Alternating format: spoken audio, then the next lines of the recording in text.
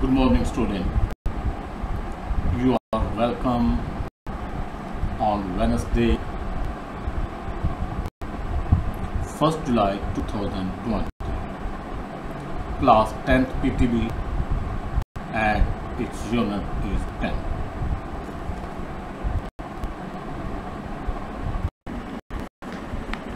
Let's open everybody to your books.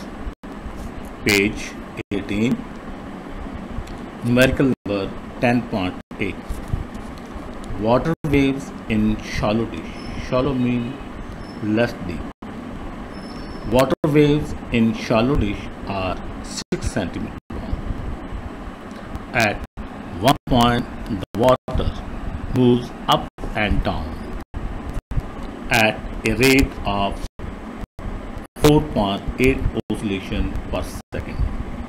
Oscillation per second mean its frequency. Two things are given. Uh, wavelength of wave that is 6 centimeter long and the second thing the frequency is given 4.8 oscillations per second. Two things we have to find out. The first A part what is the speed of the water and second is the that what is the period of the water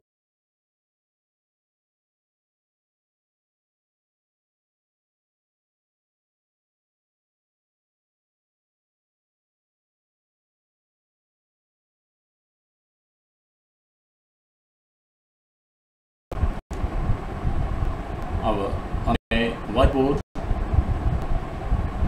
given data that wavelength lambda is equal to 6 centimeter. We convert it into meter. Lambda is equal to 6 and 6 divided by 100 and it will be converted into meter and it is now 0.06 meter. Oscillation per second frequency. Frequency is 4.8 hertz and we have to find the two things the velocity and the time period. The formula for the velocity is v is equal to f lambda. And while we put the values 4.8 the frequency into the lambda the wavelength 0.06 while we multiplied both of them we get 0.288 meter per second.